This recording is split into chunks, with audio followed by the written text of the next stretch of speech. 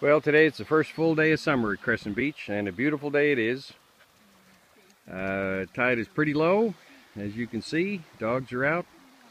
Sun is out. Very gentle breeze. It's a lovely day down at the beach. So come on out for the season of 2014.